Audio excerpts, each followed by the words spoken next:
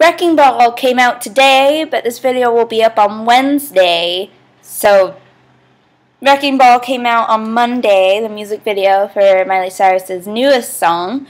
I'm going to watch it right now and record my reaction to it because her last video was crazy weird.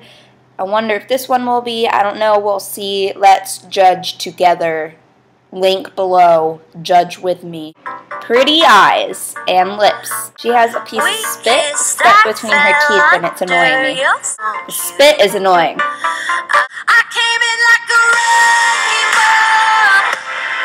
She has no clothes on.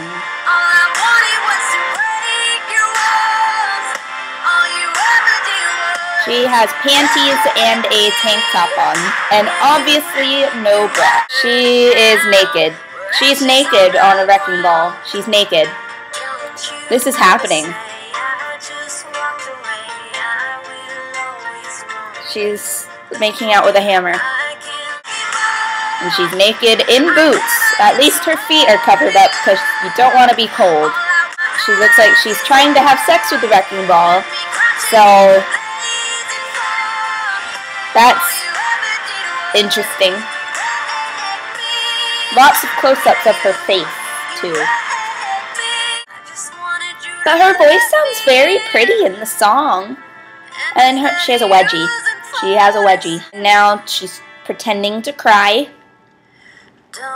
Her teeth are as white as the background behind her, which is kind of freaking me out a little. Lots of shots of her butt and her grabbing her butt. She really likes to wear white clothing. Well, okay.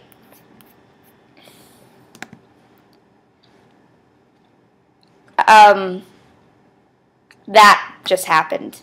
It's our party, we can do it. It's our party, we can. It's our party.